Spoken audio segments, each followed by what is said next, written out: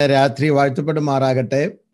India പെന്തിക്കോസ് ദൈവസഭ ചെങ്ങന്നൂർ ഡിസ്ട്രിക്റ്റിന്റെ മുപ്പത്തൊമ്പതാമത് ഈ annual convention ഇപ്രകാരം നടത്തുവാനും അതിൽ ദൈവവചനം സം- സംസാരിപ്പാനും കർത്താവ് എനിക്ക് ഒരുക്കിയ നല്ല അവസരത്തിനായി ഞാൻ കർത്താവിന് ഹൃദയം നിറഞ്ഞ നന്ദി അർപ്പിക്കുന്നു. ഈ ശുശ്രൂഷയ്ക്കായി എന്നെ ക്ഷണിക്കുകയും പ്രോത്സാഹിപ്പിക്കുകയും ചെയ്ത കർത്താവിന്റെ ദാസൻ ഈ സെന്ററിന് സുസ്ഥിരകമായ സേവനം അനുഷ്ഠിക്കുന്ന ദൈവദാസൻ പാസ്റ്റർ ജേക്കബ് ജോൺ അവറുകൾ തന്റെ കുടുംബം തന്നോട് ചേർന്ന് ഈ ശുശ്രൂഷയിൽ ചെങ്ങന്നൂർ സെന്ററിന്റെ വിവിധ പ്രവർത്തനങ്ങളിൽ പങ്കെടുക്കുന്ന എല്ലാ ദൈവദാസി ദാസന്മാർക്കും യേശുക്രിസ്തുവിന്റെ നാമത്തിലുള്ള ബഹുമാനങ്ങളും വന്ദനങ്ങളും ഞാൻ അർപ്പിക്കുകയാണ്. ഇന്ന് മീറ്റിംഗ് അധ്യക്ഷൻ ആയിരിക്കുന്ന പാസ്റ്റർ ജോസഫ് അവറുകൾ ഈ മീറ്റിംഗ് ഹോസ്റ്റ് ചെയ്യുന്ന കല്ലിശ്ശേരി അഭിനേസർ സഭ അവിടെയുള്ള ദൈവദാസൻ ദൈവമക്കൾ എല്ലാവരെയും കർത്താവിന്റെ നാമത്തിൽ ഞാൻ വന്ദനം ചൊല്ലുന്നു. നിങ്ങളുടെ കൂടെ ഇങ്ങനെ ആയിരിക്കാനും കർത്താവ് അവസരം ഒരുക്കിയല്ലോ. നേരിട്ട് കടന്നു വന്ന് ശുശ്രൂഷിക്കുവാനുള്ള ആഗ്രഹമുണ്ട്.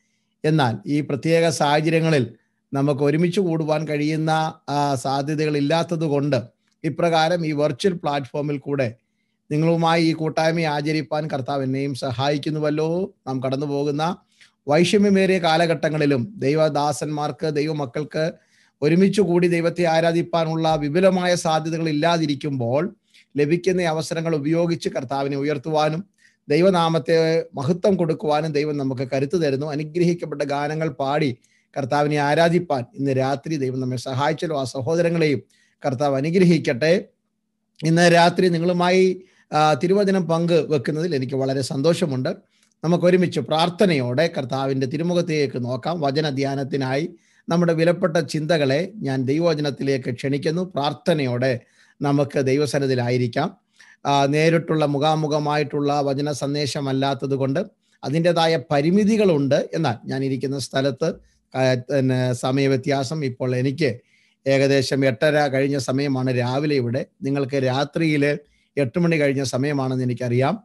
തുടർന്നുള്ള സമയങ്ങൾ നാം വചന ധ്യാനത്തിനായിരിക്കുമ്പോൾ ബാക്കി എല്ലാ ചിന്തകളും മാറ്റിവെച്ച് നമുക്കൊന്ന് വചനം ധ്യാനിപ്പാൻ കർത്താവ് സഹായിക്കട്ടെ. പതിവിൽ നിന്ന് വ്യത്യസ്ത ശൈലിയിലായി വചനം ഒന്ന് സാവകാശം ഒന്ന് പറയുവാനാണ് ഞാൻ കർത്താവിൽ ശരണപ്പെടുന്നത്. സ്തോത്രം. നമുക്ക് എല്ലാവർക്കും സുപരിചിതമായ ഒരു തിരുവചന ഭാഗത്താണ് ഇന്ന് രാത്രി ഞാൻ ചിന്ത കേന്ദ്രീകരിക്കുന്നത്. എബ്രായർക്ക് എഴുതിയ ലേഖനം പന്ത്രണ്ടാം അധ്യായത്തിന്റെ ഇരുപത്തിനാലാമത്തെ വാക്യത്തെ ആസ്പദമാക്കിയുള്ള ഒരു ലഘു സന്ദേശമാണ്. അപ്പോൾ തന്നെ അത് ഖനമേറിയ സന്ദേശമാണ് ഞാൻ നിങ്ങളുമായി പങ്കുവെക്കുന്നത്. എബ്രാ ലേഖനം പന്ത്രണ്ട് ഇരുപത്തിനാല് ഞാൻ തന്നെ വായിക്കാം. രണ്ട് സ്ഥലങ്ങളിൽ ഇരിക്കുന്നത് കൊണ്ട് വായിച്ച് കേൾക്കുന്നതിന് ബുദ്ധിമുട്ടായതുകൊണ്ട് നിങ്ങൾക്ക് നിങ്ങളുടെ വേദപുസ്തകങ്ങൾ തുറന്ന് നിങ്ങളുടെ ദൃഷ്ടി അതിൽ പതിപ്പിച്ച് ഹൃദയം ദൈവസനിലേക്ക് പകരാം. എബ്രായർ പന്ത്രണ്ട് പതി ഇരുപത്തിനാലാമത്തെ വാക്യം.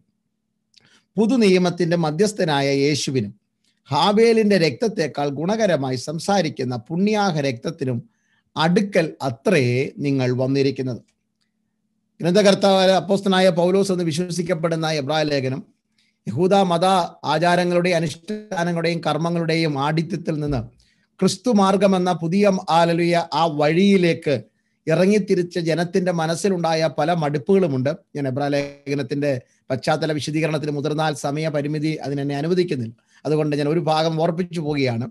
അങ്ങനെയുള്ള ആ ദൈവമക്കൾക്ക് ഉൾക്കരുത്ത് കൊടുക്കുവാൻ വേണ്ടി ഈ ലേഖനത്തിലുടനീളം ക്രിസ്തുവിന്റെ ശ്രേഷ്ഠത ക്രിസ്തീയ അല്ലിയ പൗരോഹിത്യം ക്രിസ്തീയ അനുഗ്രഹങ്ങൾ നാം ചെന്നെത്തുന്ന സ്വർഗരാജ്യത്തിന്റെ മഹിമ എന്നുള്ള വിഷയങ്ങളെ വളരെ ഘനഗംഭീരമായ ഭാഷയിൽ അവതരിപ്പിക്കുകയാണ് ലേഖനകർത്താവ് അങ്ങനെ വിശ്വാസ വീരന്മാരുടെ നീണ്ട പട്ടിക അവതരിപ്പിച്ചതിന് ശേഷം വിശ്വാസത്തിൽ ക്ഷീണിച്ചു പോകാത്ത ഭക്തന്മാർ നിങ്ങൾക്ക് ചുറ്റും സാക്ഷികളായി നിന്ന് നിങ്ങളുടെ ഓട്ടത്തെ പ്രോത്സാഹിപ്പിക്കുന്നത് കൊണ്ട് നിങ്ങളും വിശ്വാസയാത്ര ഓടിത്തീർക്കണം. ഓടിത്തീർക്കുമ്പോൾ ഇടം വലം നോക്കാതെ നോക്കേണ്ടത് വിശ്വാസത്തിന്റെ നായകനും പൂർത്തിവരത്തിനുമായ യേശുവിനെ മാത്രമായിരിക്കണം. അപ്പോൾ നിങ്ങളുടെ ഉള്ളിലുണ്ടാകുന്ന ക്ഷീണവും മടുപ്പും ഒക്കെ മാറിപ്പോകുകയും യാത്ര സുഖകരമായി തീർന്ന് നാം പോലും അറിയാതെ നമ്മുടെ സ്വപ്നഭൂമിയായ അങ്ങേക്കരയിൽ നാം എത്തും എന്നുള്ള അല്ലെങ്കിൽ ആശീർവാദത്തോടു കൂടി പറഞ്ഞിട്ട് നിങ്ങൾ വന്നിരിക്കുന്ന വന്നു ചേർന്നിരിക്കുന്ന സ്ഥലം ഏതാണ്? അല്ലെങ്കിൽ നിങ്ങൾ എവിടേക്കാണ് പോകുന്നത്? വന്നു ചേർന്നിരിക്കാൻ അർത്ഥമാക്കുന്നത് നിങ്ങൾ ഒടുവിൽ എവിടെയാണ് പോയി നിൽക്കുവാൻ പോകുന്നത്? എന്നുള്ള ആ സ്ഥലത്തിന്റെ ഒരു വിശദീകരണം ചെറിയ ഭാഷയിൽ തന്നെ അവതരിപ്പിക്കുകയാണ്. എബ്രായർ പന്ത്രണ്ടിന്റെ പതിനെട്ട് തൊട്ട് ഇരുപത്തിനാല് വരെയാണ് ആ ഭാഗം. അതിന്റെ ഒന്ന് രണ്ട് വാക്കുകൾ പറഞ്ഞിട്ട് ഞാൻ ഇരുപത്തിനാലാം വാക്യത്തിലേക്ക് വരികയാണ്. നിങ്ങൾ വന്നിരിക്കുന്നത് പതിനെട്ടാം വാക്യം തൊട്ട് ഇങ്ങനെ വായിക്കുന്നു. സ്ഥൂലമായതും തീ കത്തുന്നതുമായ പർവതത്തിനും കൂരിരുട്ട് കൊടുങ്കാറ്റ് കാഹളനാദം വാക്കുകളുടെ ശബ്ദം എന്നിവയ്ക്കും അടുക്കലല്ലോ പഴയ ഒരു ഓർമ്മയിലേക്ക് അവരെ കൊണ്ടുപോവുകയാണ്. അവരുടെ പിതാക്കന്മാരായ അല്ലെങ്കിൽ ഗോത്ര പിതാക്കന്മാർ അല്ലലിയ അവരുടെ തലമുറകൾ മോശയുടെ നേതൃത്വത്തിൽ സമാഗന കൂടാരത്തിന്റെ പണികളും വിശേഷതകളൊക്കെ കണ്ടവരാണ്. അവർ മരുഭൂ പ്രയാണം ചെയ്തവരാണ്. ദൈവത്തിന്റെ കരുതൽ അനുഭവിച്ചവരാണ്. അവരോട് ദൈവം ന്യായപ്രമാണം കൊടുക്കുന്ന സമയത്ത് അവർ വന്ന പർവതം അല്ലലിയ സീനായി മലയാണ്. സീനായി മലയിൽ കത്തി ഇറങ്ങുന്ന ദൈവത്തിന്റെ തേജസ് അവിടെ മുഴങ്ങിയ ഇടിമുഴക്കം അവിടെ വെളിപ്പെട്ട ദൈവത്തിന്റെ അന്ധതമസായ കൂരിരുട്ട് മറഞ്ഞിരിക്കുന്ന ദൈവം ഭാഷയിൽ കൂടി വെളിപ്പെടുകയാണ്. അവിടെ മുഴങ്ങിയ കൊടുങ്കാറ്റ് അവിടെ കേട്ട ശബ്ദം ഭയങ്കര മുഴക്കമുള്ളതായിരുന്നു. പർവതം കുലുങ്ങുമാറ്. പർവതം ആരെങ്കിലും തൊട്ടാൽ അതിനെ കല്ലെറിഞ്ഞ് കൊല്ലണമെന്നുള്ള കർശന അതികഠിനമായിരുന്നു.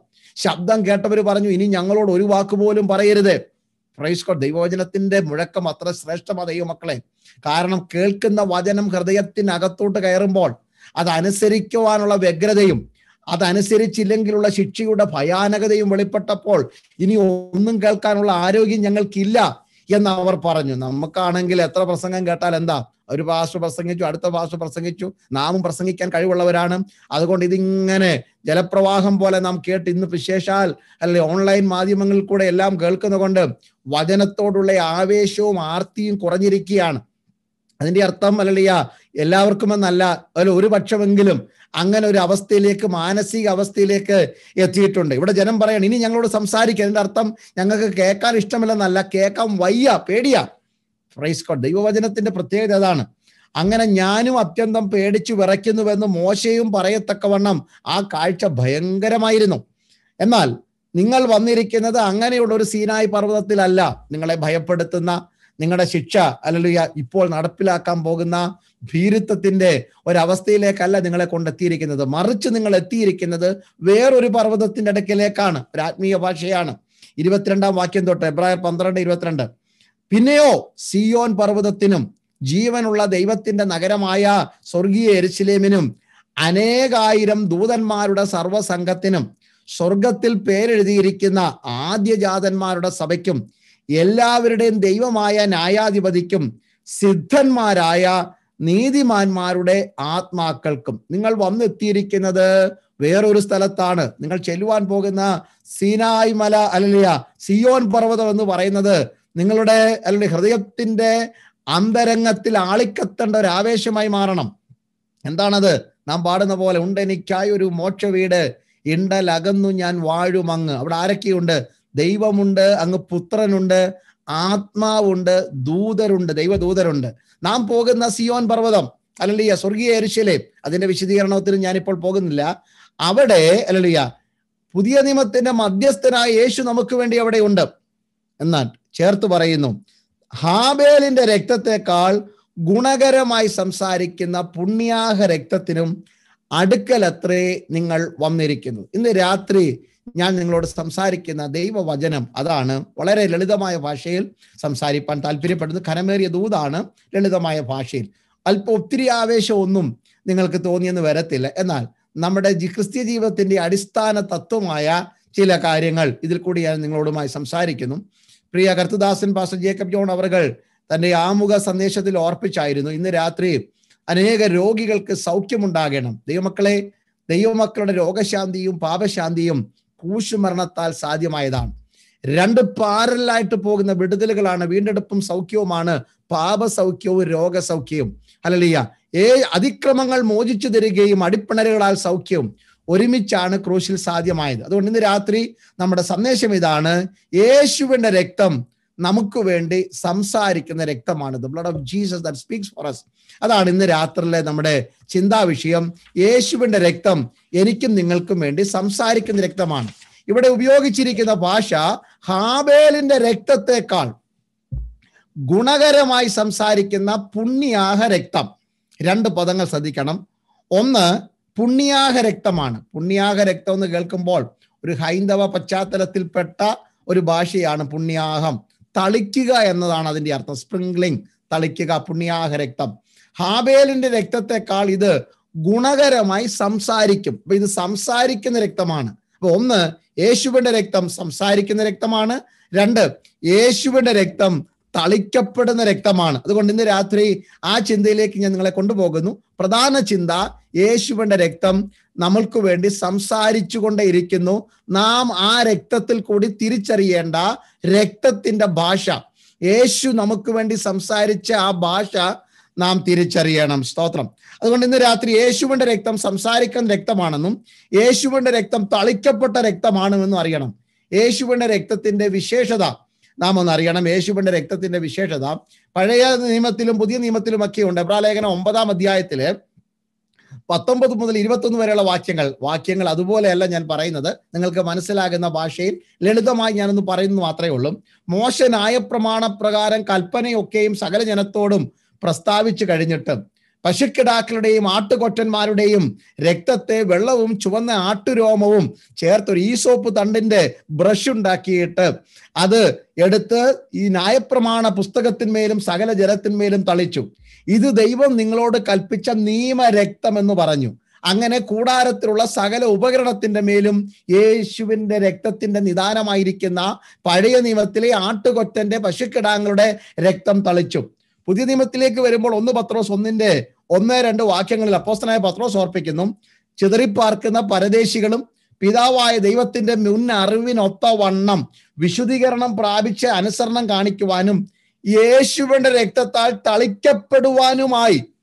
ഫലലുയ വൃതന്മാർക്ക് ഇരിക്കുന്നവർക്ക് അപ്പൊ യേശുവിന്റെ രക്തം നമ്മുടെ മേൽ തളിക്കപ്പെടുകയാണ്. എന്താണ് ഈ തളിക്കപ്പെടുക എന്നർത്ഥം? യേശുവിന്റെ രക്തത്തിന്റെ വിശേഷതയാണ് യേശുവിന്റെ രക്തം നമ്മുടെ മേൽ തളിക്കപ്പെട്ടു എന്നതിന്റെ അർത്ഥം. ഇത് സുവിശേഷത്തിന്റെ ആദിമ സന്ദേശമാണ് ഞാൻ പറയുന്നത്. സ്തോത്രം. ഒന്ന് യോഹനാൻ ഒന്നിന്റെ ഏഴ്. യേശുവിന്റെ രക്തത്തിന്റെ ഒന്നാമത്തെ വിശേഷത അവൻ നമ്മുടെ സകല പാപവും പോക്കി നമ്മെ ശുദ്ധീകരിക്കുന്നു എന്നുള്ള യേശുവിന്റെ രക്തത്തിന്റെ വിശേഷതയാണ്. അവന്റെ പുത്രനായ യേശുവിന്റെ രക്തം സകല പാപവും പോക്കി ശുദ്ധീകരിക്കുന്ന രക്തമാണ്. നമ്മുടെ പാപം ശുദ്ധീകരിക്കുക ശുദ്ധീകരണം എന്ന് പറഞ്ഞു കഴിഞ്ഞാൽ ഒരു കറ പോലും ശേഷിച്ചിട്ടില്ല എന്നാണ്. അല്പം കറ മിച്ചം വെച്ചതല്ല പാപങ്ങളുടെ ബഹുത്വം മുഴുവൻ മറച്ചു കഴിഞ്ഞു.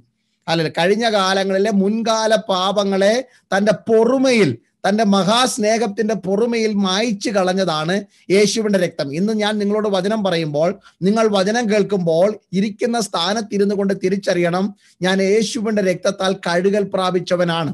പിശാജ് പഴയ സ്വഭാവം ഓർപ്പിച്ചുകൊണ്ട് അല്ലല്ല പഴയ ജീവിത രീതികളെ ചെവിയിൽ ഓതിക്കൊണ്ട് നിരാശയുടെ ആത്മാവ് അകത്ത് കടത്തിവിടുമ്പോൾ ആത്മാവിൽ ഭക്തന്മാർ തിരിച്ചറിയണം. സ്വർഗീയ പൗരന്മാരാക്കി എന്നെ മാറ്റുവാൻ സ്വർഗത്തിന്റെ ഓമന പുത്രനായ യേശുവിന്റെ രക്തം എന്റെ പാപം പോക്കി എന്നെ ശുദ്ധീകരിച്ചത് കൊണ്ട് ഇന്ന് ഞാൻ ദൈവസന്നതിൽ വിശുദ്ധനാണ് നീതിമാനാണ്.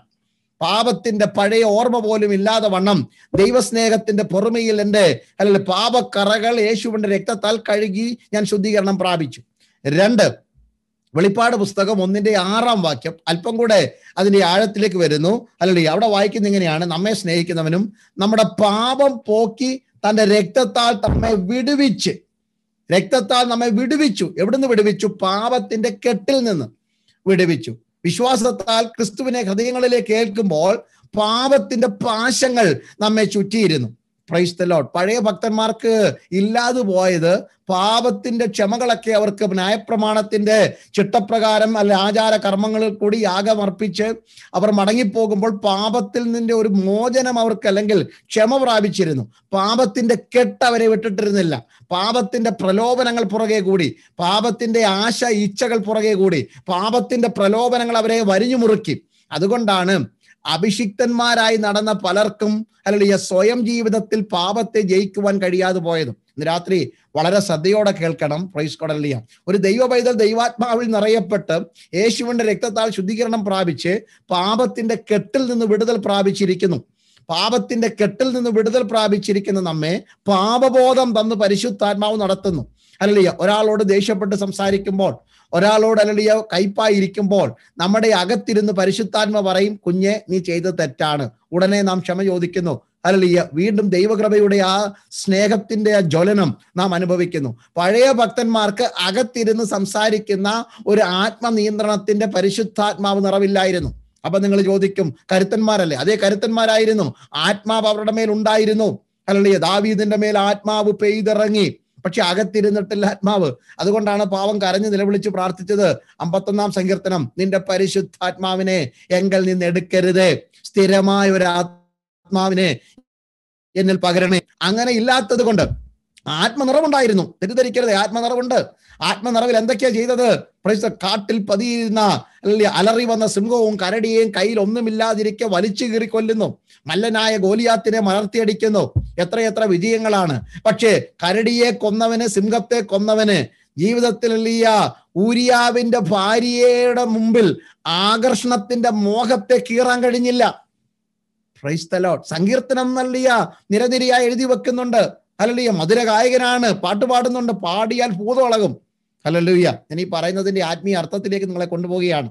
അല്ലല്ലയോ പാട്ടൊക്കെ പാടിക്കഴിഞ്ഞാൽ ശൗൽ രാജാവിന്റെ മേത്തുള്ള ഭൂതം ദൈവമക്കളെ പ്രവചനവും ശുശ്രൂഷയും രോഗശാന്തിയും ഭൂതശാന്തിയും ഒക്കെ നല്ലതാണ്. പക്ഷേ ജീവിതത്തിലെ മോഹങ്ങളെ കീഴ്പ്പെടുത്തുവാൻ കഴിയാത്ത കൃപയാണെങ്കിൽ ആ കൃപയ്ക്ക് ഈ മണ്ണിൽ മാത്രമേ വിലയുള്ളൂ. അതുകൊണ്ട് ഇന്ന് രാത്രി നാം പ്രാപിച്ചിരിക്കുന്ന ഈ ആത്മാഭിഷേകം അകത്തിരുന്നു കൊണ്ട് നമ്മെ രൂപാന്തരപ്പെടുത്തി. പാപത്തിന്റെ കെട്ടിൽ നിന്ന് നമ്മെ വിടുവിക്കുന്ന അഭിഷേകമാണ് നമുക്ക് വേണ്ടത്. ക്രൈസ്തലോ ഈ മണ്ണിൽ പ്രസിദ്ധരൊന്നും ആയില്ലെങ്കിലും കേമന്മാരുടെ ലിസ്റ്റിൽ പേരൊന്നും ഇല്ലെങ്കിലും ലോകം അറിയപ്പെടുന്നവരൊന്നും ആയില്ലെങ്കിലും ആഗ്രഹിച്ച ആശകളൊന്നും ഈ മണ്ണിൽ കെട്ടിപ്പൊക്കുവാൻ പറ്റിയില്ലെങ്കിലും ജയകരമായ ഒരു ക്രിസ്ത്യ ജീവിതം നല്ല പോർ പൊരുതി ഓട്ടം തികച്ച് വിശ്വാസം കാത്ത് പ്രതിഫലത്തിനായി അക്കരെ നാട്ടിലേക്ക് കയറിപ്പോകാൻ പറ്റിയെങ്കിൽ വിശ്വാസ ജീവിതം വിജയിച്ചു എന്ന അഭിമാനത്തോടെ ഇന്ന് രാത്രി നാം പറയണം.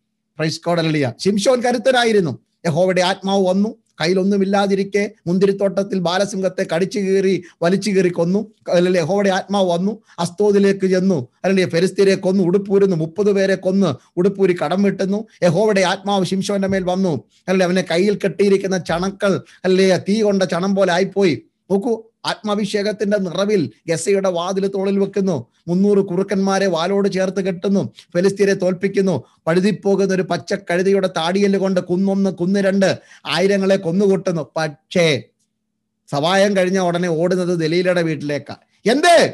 ആത്മീയ ലോകത്തിൽ അധപ്പതനമുണ്ടായത് ആത്മീയ ലോകത്തിൽ അവിശുദ്ധി വിശുദ്ധിയില്ലായ്മ വ്യാപരിച്ചത്. അകത്ത് അഭിഷേകമില്ലെന്ന് നിറവുണ്ട്. പ്രസംഗിക്കാൻ നല്ല ഭാഷയുണ്ട് പാടാൻ നല്ല ട്യൂണുണ്ട് പ്രവചനത്തിന് പച്ചിലയും കത്രികയും പോലെ കാര്യം നടക്കും. സ്റ്റേജിലൊക്കെ നല്ല വിളങ്ങി നിൽക്കാം. പക്ഷേ ജഡത്തെ തോൽപ്പിക്കുന്ന കൃപ അകത്തില്ലാതെ പോയി. ഇന്ന് രാത്രികാലം പാപത്തിന്റെ കെട്ടിൽ നിന്നുള്ള സ്വാതന്ത്ര്യം യേശുവിന്റെ രക്തം മൂലം നമുക്ക് സാധ്യമായെങ്കിൽ ആ പ്രലോഭന ജയ ജയം തുടർമാനമായ അഭിഷേകത്തിൽ ആത്മനിറവിൽ അകത്തിരുന്ന് കൊണ്ട് നടക്കണം. അതാണ് ദൈവ കുറിച്ച് ദൈവം ആഗ്രഹിക്കുന്നത്. മൂന്നാമതായി യേശുവിന്റെ രക്തത്താൽ നമുക്ക് ലഭിച്ചിരിക്കുന്നത് എഫേസർ ഒന്നിന്റെ ഏഴാം വാക്യമാണ്. അതിക്രമങ്ങളുടെ മോചനം എന്ന അവനിൽ നമുക്ക് രക്തത്താൽ അതിക്രമങ്ങളുടെ മോചനം എന്ന വീണ്ടെടുപ്പ്.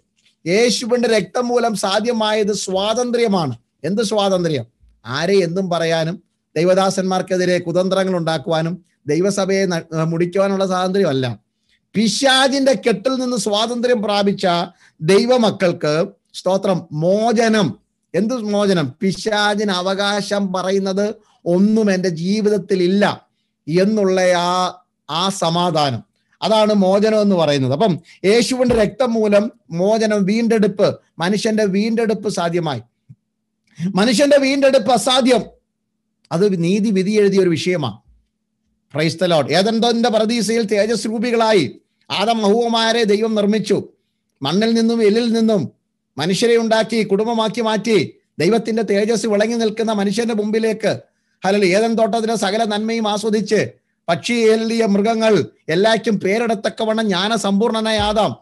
ഗീഹോനും പീശോനും ഗിദ്ദേക്കിലും ഫ്രാത്തും ഒഴുകുന്ന ഹലലിയ ആ തെളിനീരുള്ള നദിയിൽ നിന്ന് വെള്ളം കുടിച്ച് അതിന്റെ ഫലഭൂഷ്ഠത ആസ്വദിച്ച് തോട്ടം കിളച്ചു മറിച്ച് വേല ചെയ്തുകൊണ്ടിരുന്ന ആദമിന്റെ മുമ്പിലേക്ക് ഹവയുടെ മുമ്പിലേക്ക് പിശാജ് പാമ്പിന്റെ വേഷത്തിലോ ഒന്ന് പ്രത്യക്ഷപ്പെട്ടിട്ട് പഴക്കച്ചവടം നടത്തുകയാണ്.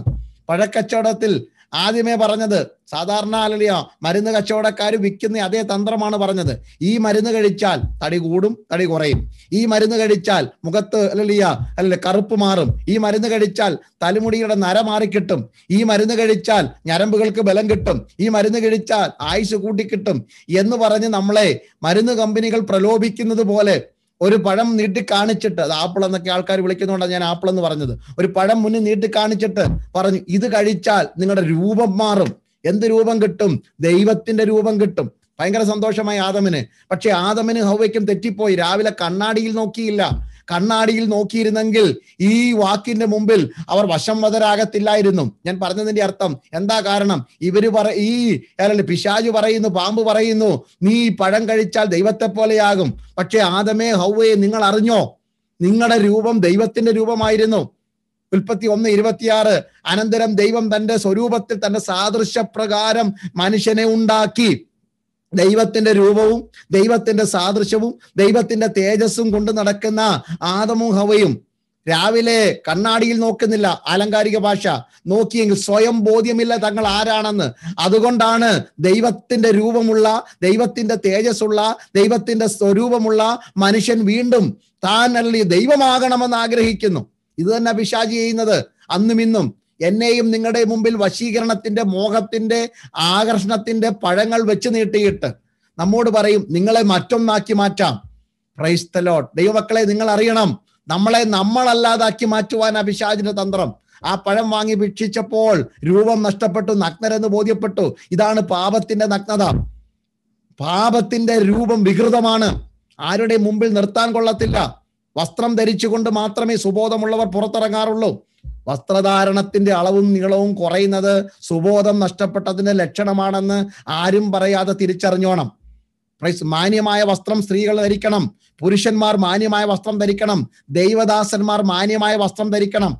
ശരീരത്തെ അല്ലിയ പുഷ്ടിപ്പെടുത്തുന്ന അതല്ലേ അത് മറ്റുള്ളവരെ കാണിക്കുന്ന ഏതു വസ്ത്രധാരണവും വചനാടിസ്ഥാനത്തിൽ പാപമാണ്. അതിന്റെ നിറം വിഷയമല്ല അത് നിങ്ങൾക്ക് തിരഞ്ഞെടുക്കാം. ഞാൻ അതിന്റെ പുറകെയില്ല പക്ഷെ ശരീരത്തിൽ നിങ്ങളുടെ അവയവങ്ങൾ ഏറ്റവും കുറച്ച് കാണിക്കുന്നതാണ് വസ്ത്രധാരണത്തിന്റെ തിരുവചന മാതൃക.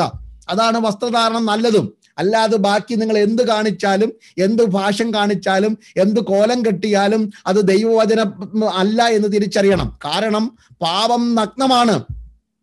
പാപം വികൃതമാണ്.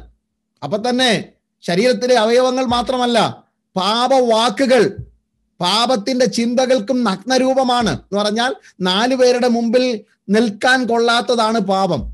അറിഞ്ഞോ അറിയാതെയോ? നാം അത് അംഗീകരിക്കുന്നില്ല. ക്രൈസ്തലോ ദൈവമക്കളെ ഓരോ പ്രാവശ്യവും പാപം ചെയ്യുമ്പോഴും ഓരോ പ്രാവശ്യവും ദൈവഹിതമില്ലാത്ത സംസാരങ്ങൾ ദൈവഹിതമില്ലാത്ത നോട്ടങ്ങൾ ദൈവഹിതമില്ലാത്ത ചിന്തകൾ ദൈവഹിതമില്ലാത്ത ഇടപാടുകൾ കുടുംബത്തിലും സഭയിലും ദേശത്തും ജോലിയിലും ബിസിനസ്സിലും ഒക്കെ നാം ചെയ്യുമ്പോൾ അതിന് സ്വർഗം കാണുന്ന രൂപം നഗ്നരൂപമാണ്.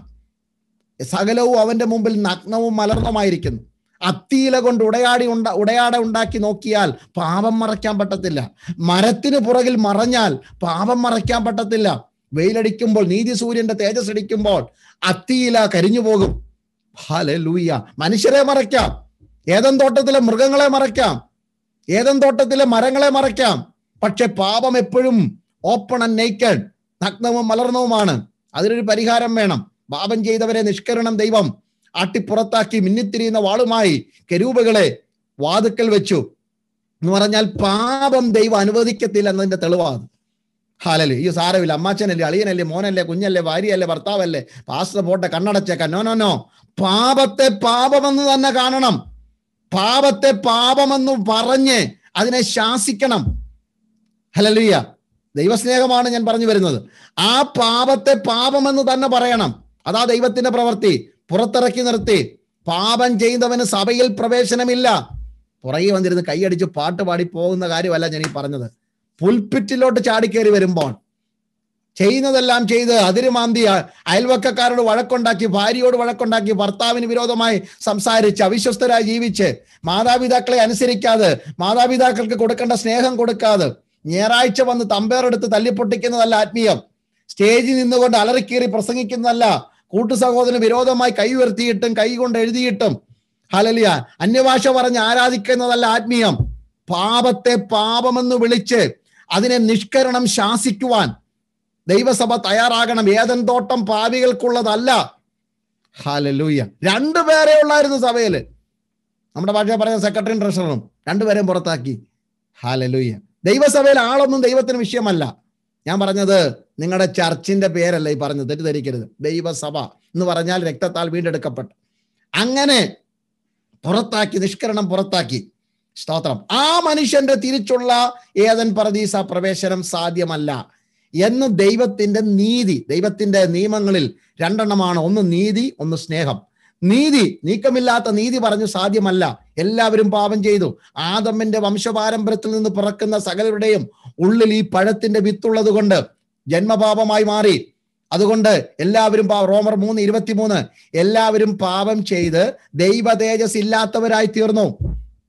പ്രൈസ് പാപത്തിന് ഒരു ശമ്പളം ഉണ്ട് റോമർ ആറ് ഇരുപത്തിമൂന്ന് പാപത്തിന്റെ ശമ്പളം മരണം. അതിൽ കുറഞ്ഞൊരു ശിക്ഷയില്ല. പാപം ചെയ്യുന്ന ദേഹി മരിക്കണം നിശ്ചയം. അല്ല രക്തം ചൊരിഞ്ഞിട്ടല്ലാതെ മര പിന്നെ വിമോചനമില്ല. നീക്കമില്ലാത്ത നിയമത്തിന്റെ മുമ്പിൽ ന്യായപ്രമാണങ്ങൾ തലകുനിച്ചു. നടക്കത്തില്ല. ആചാര്യന്മാർ പുരോഹിതന്മാർ മതങ്ങൾ അല്ലെങ്കിൽ തത്വശാസ്ത്രങ്ങൾ ലോകത്തിലെ സകലതും തലകുനിച്ചു പറഞ്ഞു ഇല്ല പാപത്തിൽ അകപ്പെട്ട മനുഷ്യന് ഇനി ഒരു ഏതൻ പറദീസ അല്ലെങ്കിൽ സ്വർഗീയ പറദീസ പുനഃപ്രവേശനമില്ല. ജീവവൃക്ഷത്തിന്റെ ഫലം കയ്യെത്താവുന്ന ദൂരത്ത് അന്യപ്പെട്ടു പോയ മനുഷ്യന് ജീവജലപ്രാപ്തി ജീവജലം കുടിക്കുവാനോ ജീവഫലം തിന്നുവാനോ കഴിയില്ല. അങ്ങനെ തലകുനിച്ച് എല്ലാം തോറ്റു നിൽക്കുമ്പോൾ ഹലലൂയ സ്വർഗത്തിൽ ഒരു ശബ്ദം കേട്ടു. ഇതാ ഞാൻ വരുന്നു. പുസ്തക ചുരുളിൽ എന്നെ കുറിച്ച് എഴുതിയിരിക്കുന്നു. ദൈവമേ നിന്റെ ഇഷ്ടം ഞാൻ ചെയ്യാൻ വരുന്നു. സ്വർഗത്തിന്റെ മണിമകുടമായിരുന്ന ദൈവത്തിന്റെ ഓമന കുമാരനായിരുന്ന ദൈവപുത്രനായ യേശു ക്രിസ്തു മണ്ണിലേക്ക് ഇറങ്ങി മൺവേഷമെടുത്ത് മനുഷ്യരൂപമെടുത്ത് മനുഷ്യ സാദൃശ്യത്തിലായി. എനിക്കും നിങ്ങൾക്കും പകരമായി ദൈവത്തിന്റെ നീതി നിവർത്തിക്കുകയും വേണം. ദൈവത്തിന്റെ സ്നേഹം ചൊരിയുകയും വേണം. അങ്ങനെ അല്ലിയ ആ ദൈവത്തിന്റെ നീതിയും ദൈവത്തിന്റെ വിശ്വസ്തതയും ദൈവത്തിന്റെ സ്നേഹവും തമ്മിൽ ചുംബിച്ച സ്ഥലത്തിന്റെ പേരാണ് അങ്ങ് ദൂരെ ഗോൽഗോത്തക്കുന്ന് കാൽവറി. പ്രൈസ് കൊടല്ലിയ ആ കാൽവറിയിൽ നടന്നത് പാപത്തിന്റെ നഗ്നത അവിടെ പിന്നെ അല്ലെങ്കിൽ പരസ്യ കോലമാക്കി പാപത്തിന്റെ വികൃത രൂപം നിങ്ങൾക്ക് കാണണോ? സഹോദര സഹോദരി ഇന്ന് രാത്രി വചനം കേൾക്കുമ്പോൾ നിങ്ങൾ ഓർക്കും പാസ്റ്റർ എന്താ പറഞ്ഞു വരുന്നതെന്ന്. അതെ ഞാൻ പറഞ്ഞു വരുന്നത് ഒരു ആത്മീയ സത്യം. നിങ്ങൾ ഞാൻ വീണ്ടും ആവർത്തിക്കുന്നു. കയ്പ് ഉള്ളിലിരിക്കുമ്പോൾ നിങ്ങളുടെ രൂപം എന്താണ്? അതരത്തിൽ കൂടെ അനാവശ്യം പറയുമ്പോൾ നിങ്ങളുടെ രൂപം എന്താണ്? ദൈവത്തിന്റെ കണ്ണിൽ ക്രൂശിന്റെ കണ്ണിൽ അല്ലെങ്കിൽ വേദപുസ്തകത്തിന്റെ ഭാഷയിൽ. നിങ്ങൾ മറ്റുള്ളവരോട് മോശമായി പെരുമാറുമ്പോൾ ഇടപാടുകളിൽ വഞ്ചന കാണിക്കുമ്പോൾ കുടുംബജീവിതത്തിൽ അവിശ്വസത കാണിക്കുമ്പോൾ കുഞ്ഞുങ്ങളെ മാതാപിതാക്കളെ അനുസരിക്കാതിരിക്കുമ്പോൾ ദൈവം ബരിതമെന്ന് പറഞ്ഞത് ദൈവം വെറുക്കുന്നത് നിങ്ങൾ സ്വായത്തമാക്കുമ്പോൾ നിങ്ങളുടെ രൂപം കാണണോ? നോക്കിയാട്ട്. യഷ്യാ പ്രവാചകന്റെ പുസ്തകം അമ്പത്തിരണ്ടിന്റെ പതിനാലാം വാക്യം. കാണാതറിയാവുന്ന വാക്കുകളാ. യഷ്യാവ് അമ്പത്തിമൂന്നിന്റെ രണ്ട് മൂന്ന് വാക്യങ്ങൾ. കാൽവരി ക്രൂശിൽ ഗോൽഗോത്ത കുന്നിന്റെ മുകളിൽ രണ്ട് കള്ളന്മാരുടെ നടുവിൽ ആകാശത്തിന് ഭൂമിക്കും മധ്യേ കൈകാലുകളിൽ ആണിയടിക്കപ്പെട്ട് മുൾക്കിരീടധാരിയായി കിടക്കുന്ന ക്രിസ്തുവിനെ നോക്കിയാട്ട് എന്താ പ്രവാചകൻ എഴുന്നൂറ്റമ്പത് വർഷങ്ങൾക്ക് മുമ്പ് എഴുതി വെച്ചത്? അവന്റെ രൂപം കണ്ടാൽ ആളല്ല എന്നും അവന്റെ ആകൃതി കണ്ടാൽ മനുഷ്യനല്ല എന്ന് തോന്നുമാറ് വിരൂപമായിരിക്കുന്നു. ആരെ കുറിച്ചാ പറയുന്നത്? ദിവ്യസുന്ദരൻ പതിനായിരങ്ങൾ അതിശ്രേഷ്ഠൻ ഷാരോനിലെ പനനീർ പുഷ്പം സ്വർഗത്തിന്റെ മണിമകുടമായിരുന്നവൻ ദൂതന്മാരുടെ ആരാധന കേന്ദ്രമായിരുന്നവർ. അവനെ ഒന്ന് കണ്ടാൽ ഹലലുയ്യ അവന്റെ മുഖം നോക്കുവാൻ പോലും ദൂതന്മാർ ഭയപ്പെട്ട് രണ്ടുകൊണ്ട് മുഖം മൂടി രണ്ടുകൊണ്ട് പറന്ന് രണ്ടുകൊണ്ട് പാദം മൂടി പരിശുദ്ധൻ പരിശുദ്ധൻ നാർത്തട്ടകസിച്ച ദൈവസിംഹാസനത്തിലെ തിളങ്ങുന്ന നക്ഷത്രം ആയിരം സൂര്യന്മാരെ വെല്ലുന്ന തേജസ്സുള്ളവൻ. അല്ലല്ലേ പുത്തനാമരിശീലമിന്റെ വീതികളിൽ അല്ലേ വിളക്കൊന്നും വേണ്ട. യേശു അവിടെ നിന്നാ മതിയല്ലോ. ആ യേശുവിനെ കണ്ടാൽ ആളല്ല. ആകൃതി കണ്ട മനുഷ്യകോലമല്ല. വിരൂപമായിരുന്നു. പലരും നിന്നെ കണ്ട് സ്തംഭിച്ചു പോയി അയ്യോ ഇതെന്ത് കോലം? കാരണം അവന് രൂപഗുണമില്ല. അവന് കോമളത്വമില്ല. കണ്ടാൽ ആഗ്രഹിക്കത്തക്ക സൗന്ദര്യമില്ല. അങ്ങനെ അല്ലായിരുന്നല്ലോ എന്റെ യേശു. അവൻ മനുഷ്യരാൽ നിന്ദിക്കപ്പെട്ടും ത്യജിക്കപ്പെട്ടും വ്യസനപാത്രമായും രോഗം ശീലിച്ചവനുമായിരുന്നു. കാണുന്നവർ മുഖം മറച്ചു കളയത്തക്കവണ്ണം അവൻ വിരൂപനായിരുന്നു. കണ്ടോ ദൈവമക്കളെ ഇതാ പാപത്തിന്റെ വികൃത രൂപം. ഹലലൂയ ഇതാ പാപത്തിന്റെ വികൃത രൂപം. ഇന്ന് രാത്രികാലം തിരിച്ചറിയണം. ഞാനും നിങ്ങളും പാപം ചെയ്യുമ്പോൾ ഇതാണ് നമ്മുടെ ആ വികൃത രൂപം നഗ്നരാണെന്ന് തിരിച്ചറിയണം. അതിനൊറ്റ മാർഗമേ ഉള്ളൂ യേശുവിന്റെ രക്തത്താലുള്ള വീണ്ടെടുപ്പ്. പൊന്നിനും വെള്ളിക്കും വിലയേറിയ രക്തങ്ങൾക്കും അല്ല ഈ അഖിലാണ്ടം മുഴുവൻ തീരെഴുതി കൊടുത്താലും സാധ്യമല്ലെന്ന് പറഞ്ഞ എന്റെ പാപത്തിന്റെ വീണ്ടെടുപ്പ് യേശു സാധിപ്പിച്ചു തന്നു. ഇന്ന് ഞാൻ സ്വതന്ത്രനായി. അതാണ് ക്രിസ്തു. യേശുവിന്റെ പാപം മൂ രക്തം മൂലം നമുക്ക് വീണ്ടെടുപ്പ് ലഭിച്ചു. നാല് യേശുവിന്റെ രക്തം മൂലം വെളിപ്പാട് അഞ്ചിന്റെ ഒമ്പതാം വാക്യം. സകല ജാതികളെയും അവന്റെ പുത്രനായ യേശുവിന്റെ രക്തത്താൽ ഭാഷകളിൽ നിന്നും വംശങ്ങളിൽ നിന്നും ജാതികളിൽ നിന്നും അനേകരെ വിലയ്ക്ക് വാങ്ങി. യേശുവിന്റെ രക്തം മുഖാന്തരം കേരളത്തിന്റെ ഒരു കൊച്ചുമണ്ണിൽ ആരും അറിയാത്ത ഒരു കുടുംബത്തിൽ പറഞ്ഞ് എനിക്കും ദൈവസഭയുടെ അംഗമാകുവാൻ തീർന്നു. നെഞ്ചത്ത് കൈവച്ച് പറഞ്ഞാട്ട് ഏത് രാജ്യത്തിരുന്നു കൊണ്ട് ഏത് സാഹചര്യത്തിരുന്നു കൊണ്ട് ഈ വചനം കേട്ടാലും നിങ്ങൾക്കും ഹലലുയ്യ പ്രൈസ് കൊടലിയ നിൻ തിരുമേനി അറുക്കപ്പെട്ടു നിൻ രുതിരത്തിൻ വിലയായി വാങ്ങിയതാ. നിൻ തിരുമേനി അറുക്കപ്പെട്ടു നിൻ രുതിരത്തിൻ വിലയായി വാങ്ങിയതാം. ഗോത്രങ്ങൾ ഭാഷകൾ വംശങ്ങൾ ജാതികൾ സർവവും ചേർന്നുകൊണ്ട് ദയ ലഭിച്ചോർ നാം. സ്തുതിച്ചിടുവോ അതിനോ യോഗ്യൻ ക്രിസ്തു അത്രേ അതെ ഗോത്രങ്ങൾ ഭാഷകൾ വംശങ്ങൾ ജാതികൾ ഒരുമിച്ച് പറയുന്ന അഭിമാനത്തിന്റെ ഭാഷ. ഹലലുയ കുഞ്ഞാടേ നീ അറുക്കപ്പെട്ട നിന്റെ രക്തം കൊണ്ട് ഞങ്ങളെ വിലയ്ക്ക് വാങ്ങി. ക്രൈസ്ത മുഖപക്ഷമില്ലാത്ത രക്തമാണ് യേശുവിന്റെ രക്തം. റോമക്കാരനായാലും ക്രൈസ്കൊടലി ജാതിയനാണേലും ബർബറിനാണേലും ഭാഷാ ജ്ഞാനിയാണെങ്കിലും പണ്ഡിതനും പാമരനും ധനാട്യനും ദരിദ്രനും അല്ലയ യഹൂദനും യവനനും അല്ലെ ആഫ്രിക്കനും അമേരിക്കനും ആര്യനും ആസ്ട്രേലിയക്കാരനും ആലപ്പുഴക്കാരനും ആസാമിക്കും ചെങ്ങന്നൂരുള്ളവർക്കും ഇന്ന് രാത്രി ഒറ്റ നീതി നിവർത്തിച്ച യേശുവിന്റെ രക്തം മുഖപക്ഷമില്ലാത്ത രക്തം എബ്രായർ പതിമൂന്ന് ഇരുപത്. നിത്യനിയമത്തിന്റെ രക്തമാണ്. പുതിയ നിയമ ഒരു പുതിയ നിയമം. നിത്യനിയമത്താൽ ആടുകളുടെ വലിയിടയൻ നമുക്ക് വേണ്ടി ഒരു പുതിയ നിയമം എഴുതി ചേർത്തു. അന്യനല്ല പരദേശിയല്ല സ്വന്ത ജനം സ്വന്ത പുത്രന്മാർ യേശുവിന്റെ സഹോദരന്മാർ അവകാശി കൂട്ടവകാശി. ഇത് സാധിപ്പിച്ചു തന്ന രക്തമാ യേശുവിന്റെ രക്തം. അവസാനമായി എബ്രായർ ഒമ്പതിന്റെ പതിനാല്. യേശുവിന്റെ രക്തം നമുക്ക് സാധിപ്പിച്ചു തന്നത് ജീവനുള്ള ദൈവത്തെ ആരാധിക്കുന്നത് എബ്രായർ ഒമ്പത് പതിനാല്. യേശുവിന്റെ രക്തം ജീവനുള്ള ദൈവത്തെ ആരാധിക്കുന്ന ഒരു ശുദ്ധ മനസാക്ഷി നമുക്ക് തന്നു. ഇന്ന് രാത്രി തിരിച്ചറിയണം. കൈകൊട്ടും പാട്ടും ചെണ്ടമേളവും താളവും മാത്രമല്ല ആരാധന. അതൊക്കെ അതിന്റെ ഒരു ഭാഗമാണ് ഒരു ശതമാനം. ശുദ്ധ മനസാക്ഷി ഉണ്ടെങ്കിലേ ദൈവത്തെ സ്തുതിക്കാൻ പറ്റത്തുള്ളൂ. ഹാലലൂയ മത്സര ബുദ്ധിയില്ലാത്ത മറ്റുള്ളവരോട് പകയും വിദ്വേഷവും ഇല്ലാത്ത ഒരു ശുദ്ധ മനസാക്ഷിയോടെ കുറ്റമറ്റ മനസാക്ഷിയോടെ ദൈവത്തെ ആരാധിക്കുവാൻ കഴിയുന്നത് ശുദ്ധരക്തത്താൽ നാം തളിക്കപ്പെട്ടത് കൊണ്ടാണ്. നാം നമ്മുടെ ചിന്തയിലേക്ക് വരുന്നു. സമയത്തിന്റെ പകുതി കഴിഞ്ഞു. ചിന്തയിലേക്ക് ഞാൻ നിങ്ങളെ കൊണ്ടുപോവുകയാണ്. ഒന്ന് യേശുവിന്റെ രക്തം തളിക്കപ്പെട്ട രക്തമാണ്. അതിന്റെ വിശേഷതയാണ് ഞാൻ ഓർപ്പിച്ചത്. ഇനിയും യേശുവിന്റെ രക്തം സംസാരിക്കുന്ന രക്തമാണ്. ഹാബേലിന്റെ രക്തത്തെക്കാൾ ചരിത്രം പറയുന്നില്ല നിങ്ങൾക്കറിയാം. നിലത്ത് കിടന്നു വീണ ഹാബേലിന്റെ രക്തം സഹോദരനോട് നിലവിളി സഹോദരന്റെ അല്ലെങ്കിൽ ഈ ക്രൂരതയ്ക്കെതിരായി നിലവിളിക്കുന്നു എന്നൊക്കെ നമുക്ക് വ്യാഖ്യാനിച്ചെടുക്കാം. പക്ഷെ യേശുവിന്റെ രക്തം നന്നായി സംസാരിക്കുകയാണ്. പകയില്ലാത്ത രക്തം യേശുവിന്റെ രക്തം. എന്താണ് യേശുവിന്റെ രക്തം? ഇന്നും സംസാരിച്ചു കൊണ്ടിരിക്കുകയാണ് അതാണ് വായിച്ചത്. ഹാബേലിന്റെ രക്തത്തെക്കാൾ ഗുണകരമായി സംസാരിക്കുന്ന രക്തത്തിന്റെ അടുക്കലേക്കാണ് നാം വരുന്നത്. എന്താണ് ഈ രക്തം സംസാരിക്കുന്നത്? വർഷങ്ങൾക്കപ്പുറത്ത് ഗോശൻ ദേശത്ത് പാർത്തിരുന്ന ഇസ്രയേൽ മക്കളുടെ വീണ്ടെടുപ്പിന്റെ രാത്രിയിൽ ഒരു വയസ്സുള്ള ഊനമില്ലാത്ത കുഞ്ഞാടിനെ അറുത്ത് അതിന്റെ രക്തം ഈസോപ്പ് തണ്ടിൽ മുക്കി കട്ടളക്കാൽ മേലും കുറുമടിമേലും പുരട്ടിയപ്പോൾ ഒരു പ്രമാണം പറഞ്ഞിരുന്നു. പുറപ്പാട് പതിനൊന്നിന്റെ ഏഴാം വാക്യം പന്ത്രണ്ടിന്റെ ഏഴ് പതിമൂന്ന് വാക്യങ്ങളൊക്കെ ഇങ്ങനെ പറഞ്ഞത്. ഇന്ന് രാത്രി സംഹാരകൻ ഇതിലെ കടന്നു പോകും ഇസ്രയേൽ മക്കളുടെ നേരെ ഒരു നായ് പോലും നാവനക്കത്തില്ല. യേശുവിന്റെ രക്തം സുരക്ഷിത അന്നത്ത് കുഞ്ഞാടിന്റെ രക്തത്താൽ സുരക്ഷിതമുണ്ടായിരുന്നു. അറുക്കപ്പെട്ട ആടിന്റെ രക്തത്താൽ ഹലലുയ അല്ലെങ്കിൽ തളിക്കപ്പെട്ട ആടിന്റെ രക്തത്താൽ അവർക്ക് സുരക്ഷിതത്വം. ഒരു മരണദൂതനും വീടിന്റെ അകത്ത് കയറത്തില്ല. അങ്ങനെയെങ്കിൽ ഇന്ന് രാത്രി അഭിമാനത്തോടെ പറയുന്നു എനിക്ക് വേണ്ടി ചൊരിയപ്പെട്ട യേശുവിന്റെ രക്തത്തിൽ എത്രയധികം അനുഗ്രഹം എത്രയധികം അലലിയ പ്രൈസ് കോടൽ വിടുതലുണ്ട് ശക്തിയുണ്ട്. യേശുവിന്റെ രക്തം സംസാരിക്കുകയാണ്. നാല് സ്ഥലത്ത് യേശുവിന്റെ രക്തം പ്രധാനമായി ക്രൂശീകരണ സമയത്ത് വീണു. നിങ്ങളെ വേഗം കൊണ്ടുപോകുക ഗോൽഗോത്ത ആ സ്ഥലത്തെ കൊണ്ടുപോവുകയാണ് കാരണം എന്റെ സമയം അങ്ങനെയാണ്. ഒന്ന് യേശുവിന്റെ രക്തം വീണ നാല് സ്ഥലങ്ങളും ആ സ്ഥലങ്ങളിൽ നിന്ന് നമ്മോട് സംസാരിക്കുന്ന പ്രൈസ്കോട് സന്ദേശവും. ഹാബേലിന്റെ രക്തത്തെക്കാൾ ഈ രക്തം എന്താണ് ഇത്ര ശക്തമായ ഭാഷയിൽ നമ്മോട് സംസാരിക്കുന്നത്? വളരെ ശ്രദ്ധിച്ചു കേൾക്കണം. നിങ്ങൾക്കറിയാവുന്ന കാര്യങ്ങൾ തന്നെ. ഒന്ന് ലൂക്കോസിന്റെ സുവിശേഷം ഇരുപത്തിരണ്ടാം അധ്യായത്തിന്റെ നാൽപ്പത്തി നാലാമത്തെ വാക്യമാണ്. യേശുവിന്റെ രക്തം വീണ ഒന്നാമത്തെ സ്ഥലം. യേശുവിന്റെ ക്രൂശീകരണവുമായി ബന്ധപ്പെട്ടാണ് ഈ ചിന്ത.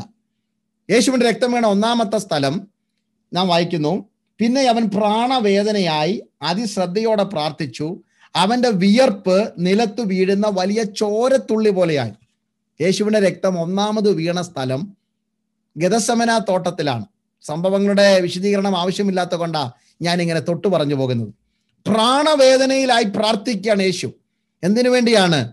തിരിഹിതം നിവർത്തിക്കപ്പെടുവാൻ വേണ്ടി. ഗതസമന തോട്ടത്തിൽ കൂർക്കം വലിച്ചുറങ്ങുന്ന സഹശിഷ്യന്മാർ ഒരു നാഴിക പോലും കൂടെ ഇരുന്ന് പ്രാർത്ഥിപ്പാൻ പ്രാപ്തിയില്ലാത്തവരായി ഉറക്കത്താൽ ഭാരപ്പെടുന്ന ഒരു കൂട്ടം ആൾക്കാർ.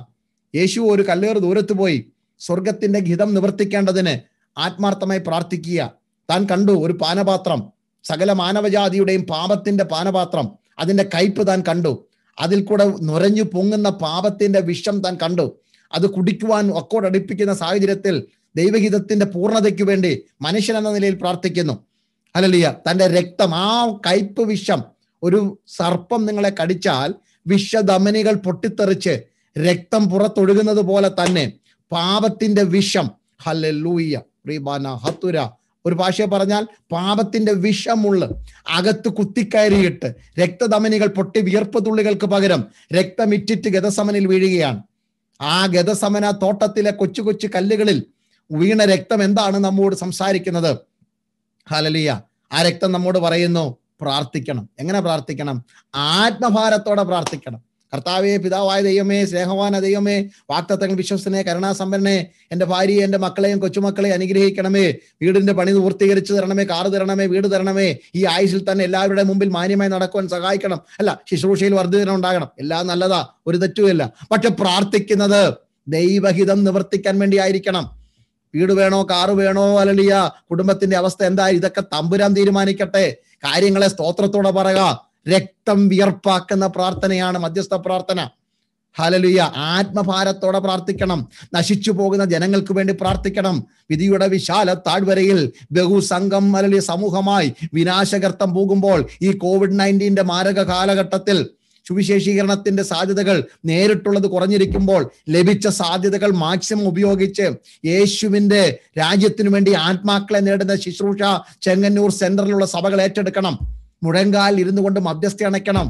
അബ്രഹാം ലോത്തിനു വേണ്ടി അബ്രഹാം സോതോം പട്ടണത്തിനു വേണ്ടി അല്ല? കുടുംബത്തിലെ നല്ല വാർത്ത നടക്കുമ്പോൾ അടുത്ത ആണ്ടിൽ മകൻ ലഭിക്കുമെന്നുള്ള ആഘോഷത്തിന്റെ വാർത്ത കേട്ട് ആഘോഷത്തിന്റെ വിരുന്ന് അവിടെ നടക്കുമ്പോൾ അതിന്റെ ഇടയിലും മുഴങ്കാൽ മടക്കി തൊണ്ണൂറ്റൊമ്പത് വയസ്സുള്ള ഒരു മധ്യവയ ഒരു ഒരു വൃദ്ധനായ മനുഷ്യൻ കണ്ണുനീരിൽ കുതിർന്ന അപേക്ഷകളുമായി സ്വർഗത്തിന്റെ കാൽ പിടിച്ചതുപോലെ ജില്ലകളുടെ പേര് പറഞ്ഞ് സ്റ്റേറ്റുകളുടെ പേര് പറഞ്ഞ് നിങ്ങൾ പാർക്കുന്ന അയൽവാസികളുടെ ചുറ്റുപാടുകളുടെ പേര് പറഞ്ഞ് സമൂഹത്തിന്റെ പേര് പറഞ്ഞ് രാഷ്ട്രീയ പാർട്ടികളുടെ പേര് പറഞ്ഞ് രാജ്യങ്ങളുടെ പേര് പറഞ്ഞ് ആത്മാവിൽ പ്രാർത്ഥിച്ചാട്ട് രക്തം വിയർപ്പാകുന്ന പ്രാർത്ഥനകൾ.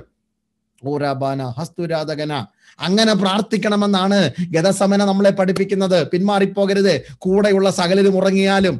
പ്രാർത്ഥനയ്ക്ക് വിളിക്കുമ്പോൾ ആരും വന്നില്ലെങ്കിലും കുടുംബ പ്രാർത്ഥനയ്ക്ക് പലരും മലഭാവം കാണിച്ചാലും ആലയത്തിൽ വരുവാൻ ആൾ മടി കാണിച്ചാലും വരുന്നവർ പ്രാർത്ഥിക്കണം. ഉണർന്നിരുന്ന് പ്രാർത്ഥിക്കണം. ദൈവഗീതം തിരിച്ചറിവോളം. പ്രാർത്ഥിക്കണം. ദൈവേഷ്ടത്തിനായി പ്രാർത്ഥിക്കണം. ഇതാണ് യേശുവിന്റെ രക്തം. ഒന്നാമത് നമ്മോട് സംസാരിക്കുന്നത്. രണ്ട് യേശുവിന്റെ രക്തം രണ്ടാമത് വീണ സ്ഥലത്തു നമുക്ക് നോക്കാം എന്താണ് സംസാരിക്കുന്നത്. ഇനിയും യോഹനാന്റെ സുവിശേഷം പത്തൊമ്പതാം അധ്യായത്തിൽ നിന്നുള്ള മൂന്ന് വാക്യങ്ങളാണ് ഞാൻ വായിക്കുന്നത്. യോഹനാൻ പത്തൊമ്പതിന്റെ ഒന്ന് മുതൽ മൂന്ന് വരെയുള്ള വാക്യങ്ങളാണ് ചുരുക്കമായി പറയാം.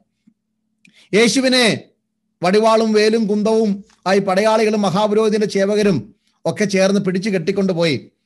അനന്തരം പീലാത്തോസിന്റെ അരമനയിൽ കൊണ്ടുപോയി അവനെ വാറുകൊണ്ട് അടുപ്പിച്ചു പടയാളികൾ മുള്ളുകൊണ്ട് ഒരു കിരീടം മെടഞ്ഞ് അവന്റെ തലയിൽ ധൂമറ വസ്ത്രം വെച്ച് ധരിപ്പിച്ചു. അവന്റെ അടുക്കൽ ചെന്ന് യഹൂദന്മാരുടെ രാജാവെ ജയ ജയ എന്ന് പറഞ്ഞ് മുട്ടുകുത്തി ആക്ഷേപിച്ചു. സ്തോത്രം.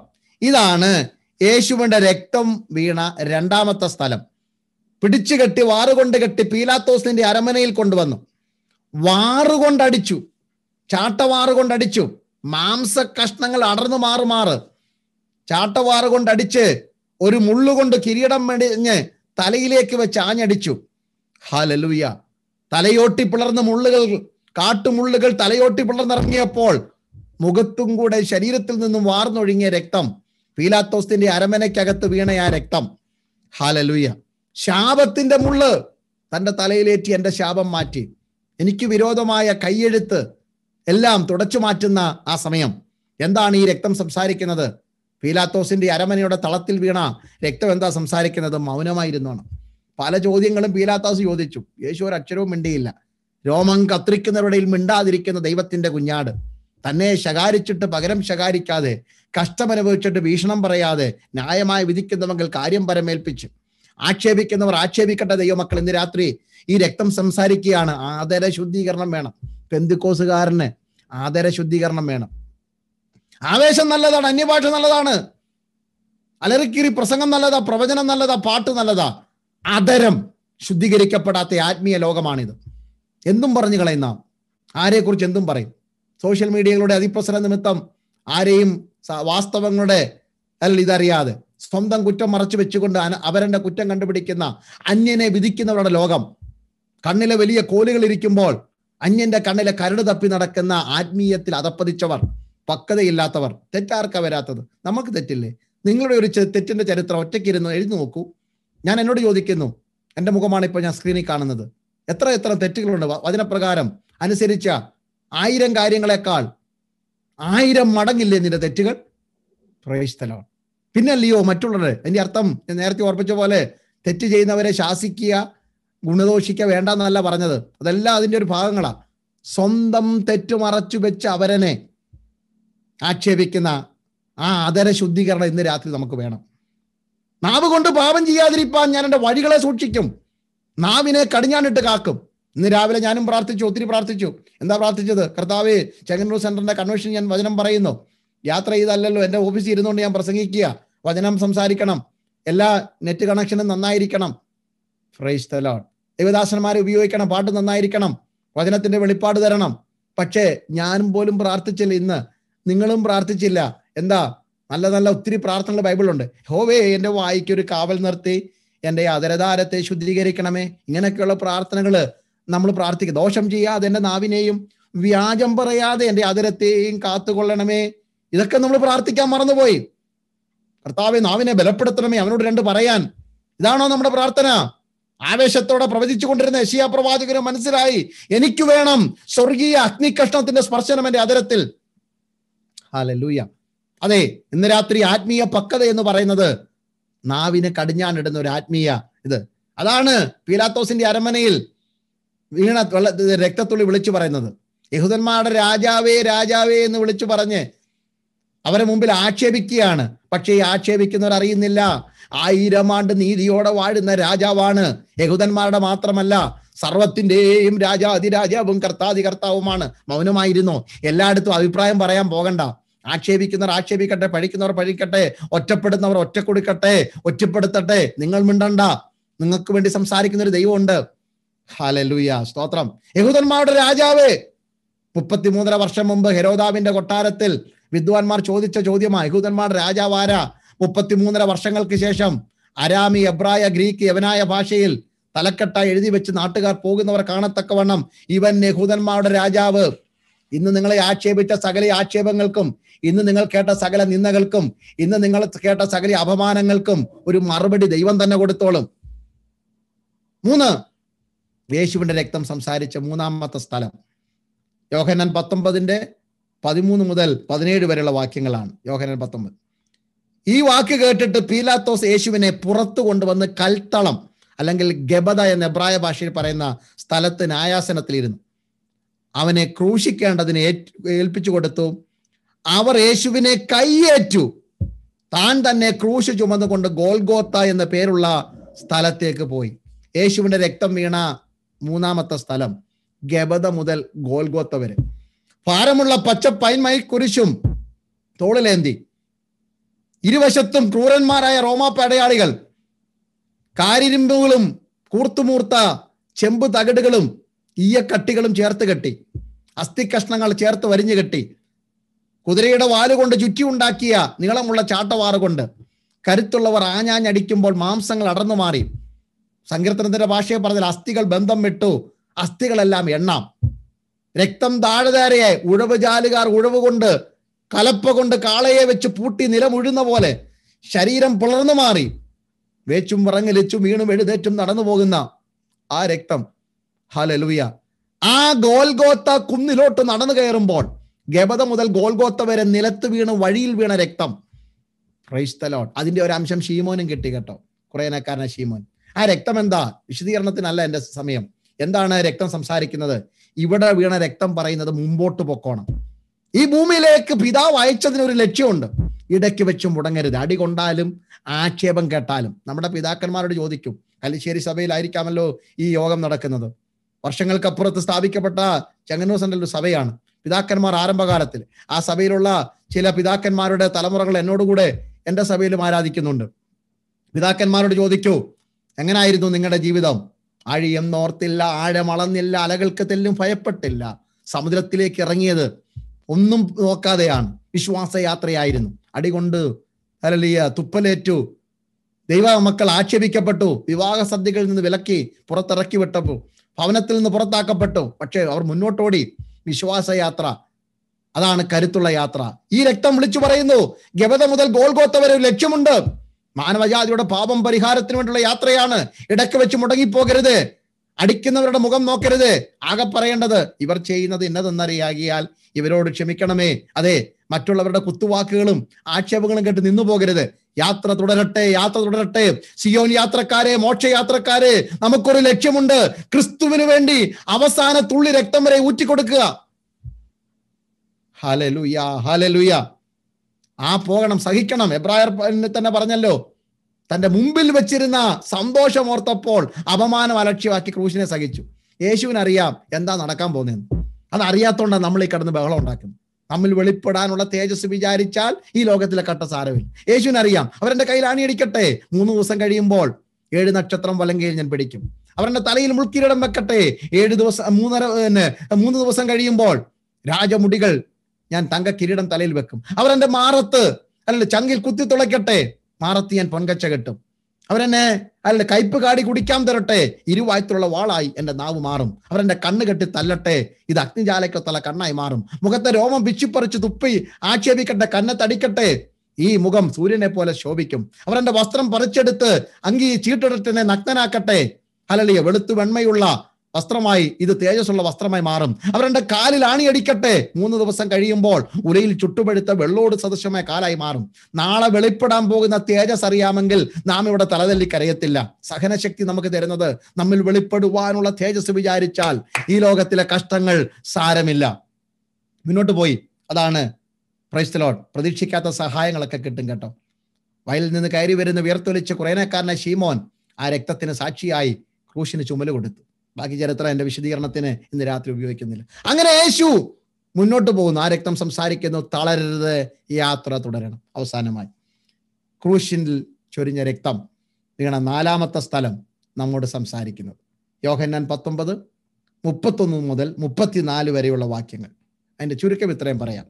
അന്ന് ശബത്ത് നാളാകെ കൊണ്ട് ശരീരങ്ങൾ ഇനി ശബത്തിൽ ക്രൂശിൽ ഇരിക്കരുത് എന്ന് നിയമമുള്ളത് കൊണ്ടും മരിച്ചോ എന്ന് ടെസ്റ്റ് ചെയ്യാൻ വേണ്ടി ക്രൂശീകരണത്തിന് ശേഷം റോമൻ പടയാളികൾ വരികയാണ്. നിങ്ങൾക്ക് ആ ക്രൂശിലോട്ട് നോക്കിയാട്ട്. ഒന്ന് രണ്ട് മൂന്ന്. നടുക്ക് യേശു. രണ്ടാമതാണ് യേശു. ഒന്ന് രണ്ട് മൂന്ന്. ഇടത്തുനിന്നോ വലത്തുനിന്നോ എന്നിട്ട് അവർ വന്ന് പരിശോധിക്കുക. മരിച്ചോ എന്ന് പരിശോധിക്കുന്ന ഒരു പ്രാകൃത രീതിയാണ്. കാലൊടിച്ച ആണ് പരിശോധിക്കുക. കാലൊടിച്ച് നോക്കുകയാണ്. അല്ലെങ്കിൽ മരിച്ചില്ലെങ്കിൽ കാലൊടിക്കും. എങ്ങനെയാ എണ്ണത്തിൽ വരേണ്ടത്? ഒന്ന് രണ്ട് മൂന്ന് എന്നല്ലേ പോകേണ്ടത്? പക്ഷെ ഇവർ റോമ പടയാളികൾ നോക്കിയത് ഒന്ന് മൂന്ന് രണ്ട് അല്ലെങ്കിൽ മൂന്ന് ഒന്ന് രണ്ട്. യേശുവിന്റെ ഇടയ്ക്കിൽ അവസാനം വന്നു. രണ്ടുപേരുടെയും കാലൊടിച്ചു. യേശുവിന്റെ ഇടയ്ക്ക് വന്നപ്പോൾ യേശു മരിച്ചിരുന്നു. എന്നിട്ടും വിശ്വാസം വരുന്നില്ല. നമ്മളൊക്കെ രക്ഷിക്കപ്പെട്ടെന്ന് പറഞ്ഞാലും സ്നാനപ്പെട്ടെന്ന് പറഞ്ഞാലും ഉപദേശിയാന്ന് പറഞ്ഞാലും വെള്ള ഷർട്ടും ക്ലീൻ ഷേവാന്ന് പറഞ്ഞാലും ആൾക്കാർ വിശ്വസിക്കണമെന്നില്ല. കാരണം അപ്പിയറൻസ് അല്ല. അതിന് അവസാനത്തെ ഒരു ടെസ്റ്റ് ഉണ്ട്. അതാണ് യേശുവിന്റെ രക്തം സംസാരിക്കുന്ന നാലാമത്തെ രക്തം. നാലാമത്തെ സ്ഥലം. ഒരു പടയാളി ഒരു കുന്തം എടുത്ത് അവന്റെ ചങ്കിലേക്ക് കുത്തി. രക്തവും വെള്ളവും പുറപ്പെട്ടു. കോൽക്കോത്ത കുന്നിന്റെ മുകളിലാണ് നാലാമത് യേശുവിന്റെ രക്തം വീണത്. ആ രക്തം സംസാരിക്കുന്നു. ഹാലിൽ ഒന്നും പിടിച്ചു വെക്കാതെ സകലതും തീർക്കണം നിവൃത്തിയാകണം. ക്രിസ്ത്യ ജീവിതം പകുതി വെക്കാനുള്ളതല്ല ഓടി തീർക്കാനുള്ളതാണ്. ഒരു സന്ദേശം കൂടെ അവർ ചേർത്ത് പറയട്ടെ. ദൈവമക്കളെ നിങ്ങൾ മരിച്ചോ ഇല്ലയോ എന്ന് അറിയുന്നത് മറ്റുള്ളവർ കുത്തുമ്പോഴാണ് ഹാലലുയി തിരിച്ചു പറയുന്നവൻ മരിച്ചിട്ടില്ല. തിരിച്ചു പ്രവർത്തിക്കുന്നവൻ മരിച്ചിട്ടില്ല. സ്വർഗയാത്രയ്ക്ക് വേണ്ടി ഒരുങ്ങി യാത്ര തുടർപ്പെടുന്ന സിയോൻ യാത്രക്കാരെ നമുക്കിവിടെ നിന്ന് മറ്റുള്ളവരോട് സംസാരിച്ച് നേരം കളയുവാൻ നേരമില്ല. നമുക്കൊരു ലക്ഷ്യമുണ്ട്. അവസാന ശ്വാസം ഈ മണ്ണിൽ ഒതുങ്ങിയാൽ മൂന്നാം നാൾ നാം ഉയർത്തെഴുന്നേറ്റ ക്രിസ്തുവിനെ പോലെ രൂപാന്തരപ്പെട്ട ശരീരത്തോട് ഈ മണ്ണ് വിട്ടു പോകേണ്ടവരാ. അതുകൊണ്ടാണ് ഹലലുയ ഞങ്ങൾക്കിവിടെ ഒരു സ്വപ്നമുണ്ട്. ഒരു രാജ്യത്തെക്കുറിച്ചുള്ള സ്വപ്നം. ഇളകാത്ത രാജ്യം പ്രാപിക്കുവാനുള്ളവരാകൊണ്ട് യേശുവിന്റെ രക്തം ഞങ്ങളോട് സംസാരിക്കുന്നു. ഒന്ന് ഹലലുയ ആത്മാർത്ഥതയോടെ രക്തം വിയർപ്പാക്കി കണ്ണുനീരോടെ സുവിശേഷ ആത്മാവോടെ പ്രാർത്ഥിക്കണം. രണ്ട് ഈ രക്തം ഞങ്ങളോട് സംസാരിക്കുന്നു. അല്ലെ മൗനമായിരിക്കേണ്ടിടത്ത് മൗനമായിരുന്നോണം. അതര ശുദ്ധീകരണം ഞങ്ങൾക്ക് ആവശ്യം ആത്മീയ ജീവിതത്തിൽ. കർത്താവിനെ ആരാധിക്കുന്ന ഈ അതരം വേറൊരു കാര്യത്തിന് ഉപയോഗിക്കരുത്. മൂന്ന് ഈ രക്തം ഞങ്ങളോട് സംസാരിക്കുന്നു. മടുത്തു പോകരുത് യാത്ര തുടരണം. ലക്ഷ്യസ്ഥാനത്തെത്തണം. സ്വർഗം ആഗ്രഹിച്ച തീരം വരെയും നടന്നു നീങ്ങുവാൻ നാം കരുത്ത് കാണിക്കണം. നാല് ഈ രക്തം നമ്മോട് സംസാരിക്കുന്നു. ഒന്നും പിടിച്ചു വെക്കാതെ പൂർണമായി മരിക്കണം. അവസാന ശ്വാസം ക്രിസ്തുവിന് വേണ്ടി. ജഡം മരിക്കണം പാപം മരിക്കണം മോഹം മരിക്കണം. എങ്കിലേ നമുക്കൊരു ഉയർത്തെഴുന്നേൽപ്പുണ്ടാകും. ഈ ദിവസങ്ങളിൽ ഒന്നിൽ നമ്മുടെ ഉയർത്തെഴുന്നേൽപ്പിന്റെ സമയമാകും. കാലം ഇങ്ങനെ അധികം മുന്നോട്ട് പോകുകയില്ല. പ്രതിസന്ധികളും മഹാമാരികളും പീഡകളും ലോകം മുമ്പ് വ്യാപരിക്കുന്നു. ഞാൻ കേൾക്കുന്നത് യേശുവിന്റെ കാലോച്ചയാണ്. യേശു വരാറായി. ആയിരം ആയിരം വിശുദ്ധന്മാരുടെ സമാപന ദിവസം അടുത്തു വരുന്നു. വെള്ളയെങ്കി നില- നെല്ല നിലയെങ്കി ധരിച്ചുകൊണ്ട് വിശുദ്ധന്മാർ ഒരുമിച്ച് വിവിധ ഭാഷയിൽ നിന്നും ഗോത്രത്തിൽ നിന്നും സംഗമിക്കുന്ന ആ ദിനമാസന്നമായി ഇന്ന് രാത്രി വചനം കേൾക്കുന്ന ഭക്തന്മാർ ജീവിത വിശുദ്ധിയോടെ ജീവിക്കണം. അവനിൽ ഈ പ്രത്യാശയുള്ളവരെല്ലാം അവൻ നിർമ്മലനായിരിക്കുന്ന പോലെ തങ്ങളെ തന്നെ നിർമ്മലീകരിച്ച് യാത്ര തുടരണം. ജഡം ക്രൂശിച്ച് ജീവിതത്തെ സമർപ്പിച്ച്. ഒരു നാൾ ഈ നശ്വര ലോകം നാം വിട്ടുപോകും. മണ്ണിൽ മറഞ്ഞാലും മണ്ണിലിരുന്നാലും രൂപാന്തരപ്പെട്ട ശരീരത്തോടെ കാഹളം ധരിക്കുമ്പോൾ നാം ഉയർത്തെഴുന്നേൽക്കും.